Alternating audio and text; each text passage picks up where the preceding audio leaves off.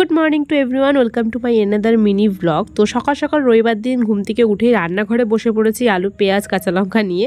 কারণ কি ভেবেছি আজকে সকাল সকাল একটু বাজারের উদ্দেশ্যে বেরোবো, ঘরে সবজিপাতি সেরকম কিছু ছিল না। সেই কারণে আলু, পেঁয়াজ দিয়েই আজকে চাউমিনটা বানালাম। হ্যাঁ দুটো ডিম ফাটিয়ে দিয়ে দিয়েছি। শুধু চাও একদমই খেতে ভালো লাগে না। সেই কারণে এক চাও বানিয়ে ব্রেকফাস্টটা রেডি করে আমি দিকে চলে আসলাম সমস্ত বিছনাপত্র গোছাতে। বাসি বিছনা অনেকক্ষণ ধরে পড়ে পড়েছিল আমি বললাম, না, আগে এটাকে গোছাই, কারণ বাজারের উদ্দেশ্যে তাড়াতাড়ি করে বেরোতে হবে। তাই আর দেরি না করেই তাড়াতাড়ি করে বেরিয়ে পড়লাম বাজারের উদ্দেশ্যে। এদিকে আজকে ওয়েদারটা কিন্তু বেশ সুন্দর, মনে হচ্ছে বৃষ্টি নামবে। যাই হোক, এদিকে দেখো, ছেলে চলে এসছে এটিএমে পয়সা ওঠাতে। যদিও আমি হাতে ছিলাম, তো বাজার করব সেই কারণে একদম ব্যাগে টাকা ছিল না। তো ভাবলাম, চলো আগে টাকাটা উঠিয়ে নিই দেন বাজারে যাব। চলে আসলাম বাজারে প্রথমে ঢুকছিলাম মাছ বাজারে। প্রচুর মাছ আজকে এসেছিল, যেহেতু রবিবার ছিল। আর নানা রকমের মাছ দেখে তাই ভিমড়ি খেয়ে গেছিলাম প্রথমত। তারপরে মনটা ঠিক করেই এসেছিলাম ঘর থেকে যে আজকে জ্যান্ত মাছ নেব। তো জ্যান্ত এখান থেকে একদম খাপি খাচ্ছিলো, সেমনি একটা রুই মাছ নিলাম, এক কেজি সাইজের তো কাকু পিস করে দিচ্ছে। কারণ কিছুদিন আগে আমার সাথে যে ঘটনাটা ঘটেছে, সেটা তোমার সাথে একটু শেয়ার করি। আমি মাছ কাটতে গিয়ে মাছের কাটা আমার হাতে কোনো কারণবশত লেগে যায়, হয়তো একটুখানি, কি সেটা পুরো ইনফেকশনে পরিণত হয়ে গেছিল।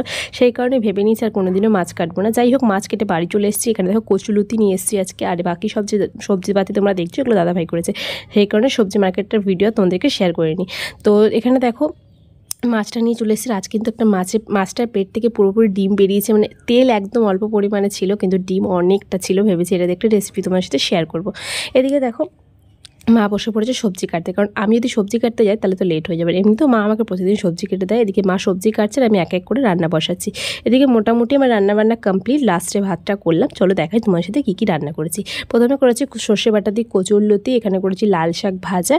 আর কি করেছি জানো? আর করেছি মাছের তেল। অল্প একটু ছিল, সেটা কিন্তু তেলটা পেঁয়াজ দিয়ে নাড়িয়ে রেখেছি আর কি। আর সত্যি বলতে ফ্রেশ ছিল ছিল পটল পোস্ত।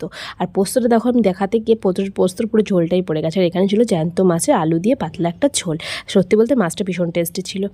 দেন চলে গেছিলাম স্নান করতে, স্নান টান করে এসে আমি বসে পড়েছি ভাত খেতে। আর যেহেতু অনেকটা লেট হয়ে গেছিল, সেই কারণে আর কারোর সাথে খাওয়া হলো না, একা একা বসে খেয়েছি। বিকেলবেলা একটা ভাত ঘুম দিয়ে উঠে দেখতে পাচ্ছি আকাশ ভর্তি মেঘ, ঝমঝম করে বৃষ্টি পড়ছে। প্রচুর বৃষ্টি হয়েছে, বৃষ্টি হয় না হয় না, বলতে বলতে আজকে ফাইনালি বৃষ্টি হয়েছে। তো আজকের মতো এই পর্যন্তই ভিডিওটা থাক। যদি তোমরা আমার এরকম ছোট ছোট মিনি ব্লগ লাইফস্টাইল দেখতে চাও, তাহলে অবশ্যই কমেন্টস করে জানিও। তো আজকের মতো চলো বাই